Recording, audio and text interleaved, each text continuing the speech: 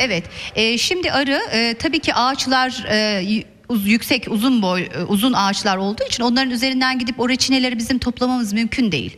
Bal arısı bu tomurcukların üzerindeki reçineyi topluyor. Polen sepetine koyuyor.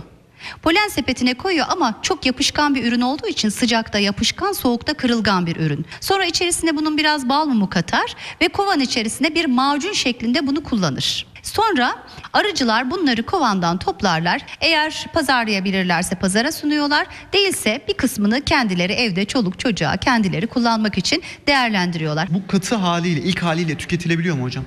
E, hayır şu anda gördüğünüz gibi e, bu propolisin önce kimyasal yapısından bahsedecek olursak %55'i reçine, %30'u mum, %5'i polen. E, bunun dışında atık maddeler var, kirler var propolisin içerisinde. Yani ham dediğimiz zaman siz %55 reçineden bahsetmiyorsunuz.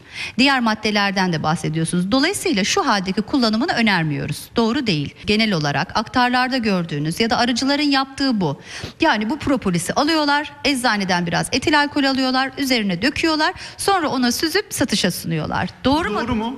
değil. Maalesef doğru değil. Çünkü Yine yaptığımız araştırmalarda propolisin dozunun çok önemli olduğunu görüyoruz. Aslında hepimiz biliyoruz bunu. Biz nedense faydalı ürünleri çok fazla kullanmakta, abartmakta e, üstümüze yok. Çok fazla kullanıyoruz. Ama propolisin de çok yüksek dozlarda kullanıldığınız zaman fayda yerine zarar oldu. Suyun bile Suyu bile çok fazla içerseniz böbreklerinizi yorar. O halde biz kullanırken mutlaka ne kadar kullanılmamız gerektiğini, ne kadar süre kullanılmamız gerektiğini çok iyi bilmemiz gerekiyor.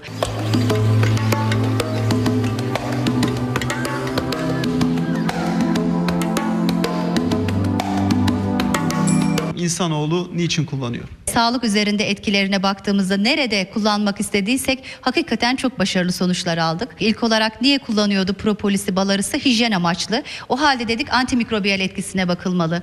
Ve bu bunun içinde e, enfeksiyon hastalıklar üzerinde denedik. Boğaz enfeksiyonlarında denedik. E, mayalar üzerinde denedik. Küfler üzerinde denedik. Ayak mantarları üzerinde denedik. E, gıda sektöründe denedik. Hayvan beslemede denedik. Hangi alanda kullanmak istediysek hepsinde çok başarılı sonuçlar aldık. 2005 yılında antikarsinojen yani kansere iyi geldiğiyle kan e, hücreleri üzerinde yaptığımız bir çalışmada in vivo bir çalışmada e, bunun etkisini gördük ama yüksek dozlarda e, sıkıntılı önerilen dozların kullanılması gerektiğini belirledik. Sadece biz sağlık üzerinde değil gıda sektöründe de kullandık. Örneğin meyve sularında küflenmeyi mayalanmayı önleyici etkisine baktık. Balık yemine kattık tavukların yemine kattık veteriner fakültesiyle yaptığımız çalışmalarda. Bu çalışmaların hemen hepsinde %99 diyebilirim olumlu sonuçlar aldık. Nedir bu sonuçlar? Hani balık yemi, tavuk yemi nasıl bir e, kullanım alanı söz konusu? Evet mesela balık yemine kattık ve balıklara aslında sadece yeme katmak değil havuza koyduk topikal olarak uyguladık yeme kattık hangisi daha etkili olacak diye baktık ve yeme kattığımız propolis çok daha etkiliydi. Ee, bir kere biliyorsunuz kültür balıkçılığında havuzlarda antimikrobiyeller kullanıyor ve bu da çok istemediğimiz bir durum. Ee, propolisle e, geleneksel olarak kullanılan antimikrobiyelleri karşılaştırdık. Propolis hiç antimikrobiyal kullanmaya gerek kalmadan, antibiyotik kullanmaya gerek kalmadan son derece başarılıydı. Ee, bu havuzlarda yemle yedirdiğimizde. Sonra biz bunu şirketlere verdik. Dedik ki hani biz laboratuvar ortamında denedik ama çok büyük ortamlarda, üretim ortamlarında acaba bizim laboratuvarda e, görülen başarı sağlanabilecek mi? E, ve bize çok olumlu sonuçlar hatta artı sonuçlar geldi. Bize dediler ki yavru balık havuzlarına koyduk ağırlık artışı da sağladık. Şimdi bu patentimizi bekliyoruz almak üzereyiz. İnşallah faydalı bir şekilde kullanılacak. Hocam sahte propolis mümkün mü? Şu anda propolis yeni başladı. Yani popülerlik kazanmaya başladı ürün olarak, üretim olarak, satış olarak yeni popülerite kazandı. Ben inanıyorum ki çıkacaktır. Ama zaten şu anda mevcut propolisler tekrar altını çizerek söylüyorum. Çünkü bu konuda bize o kadar yoğun talep geliyor ki özellikle hasta olanlardan. Diyorlar ki bize hocam ne kadar kullanacağız, nerede alacağız, nasıl güvenilir alacağız? Bunlar çok önemli şeyler. Çünkü size siz aynı bunu- soruyu soralım.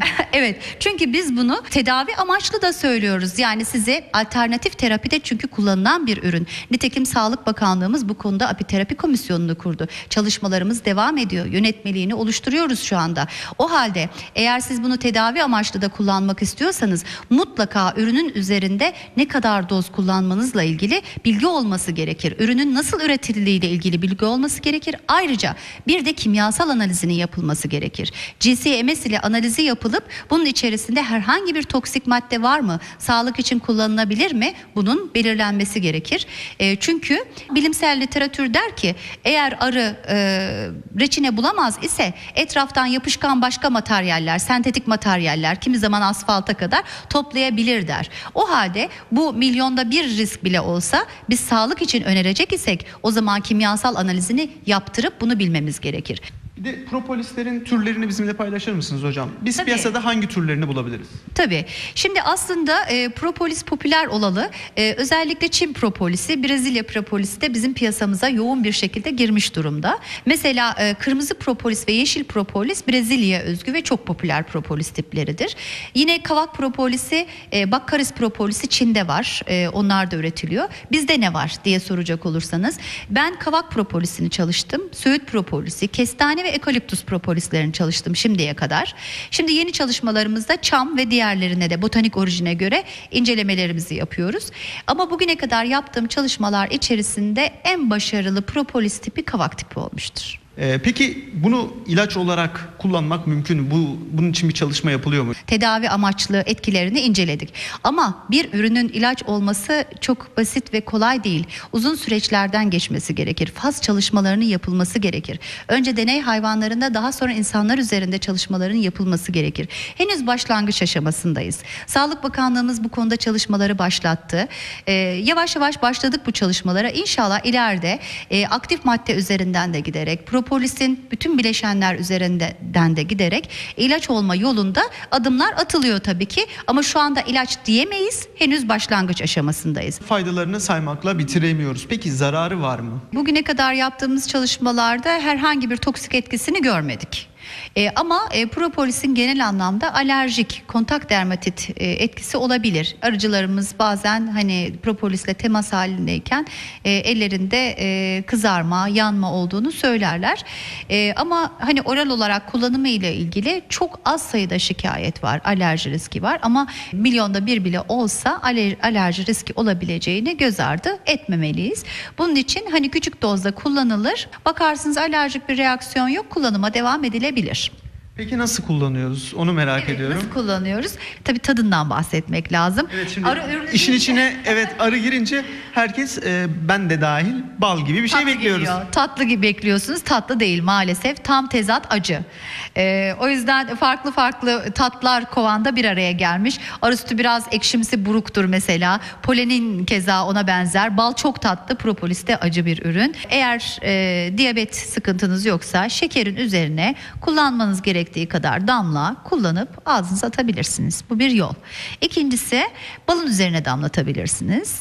Ekmeğin üzerine damlatabilirsiniz. Ee, sonra meyve suyuna damlatabilirsiniz. Yani neyi seviyorsanız, neyi tüketmek hoşunuza gidiyorsa başka gıdalarla bir arada hani tadını biraz baskılamak da amaç olaraktan kullanabilirsiniz. Ee, üniversite Sıcak kullan- pardon şunu eklemeliyim. Sıcak ürünler içerisinde kullanmayın. Çünkü fenolik madde içeriği yoğun olduğu için çok sıcak ürünler içerisinde fenolik maddeler bozulabilir.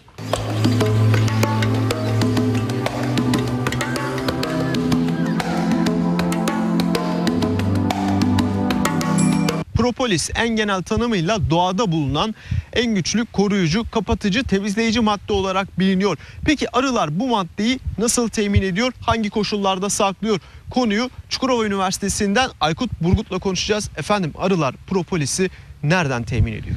Arılar propolisi e, doğadaki ağaçların sürgün ve yeni tomurcuklarından salgılanan bir maddeden almaktadırlar. Bunu ayaklarıyla ayaklarında polen taşıdıkları sepetçikleriyle beraber polen sepetçiklerine doldurarak tekrar kovana geri geliyorlar ve kovan içerisinde ihtiyaç duydukları bölgelere e, kullanmaktadırlar. Arı e, çerçeveleri sağlamlaştırmak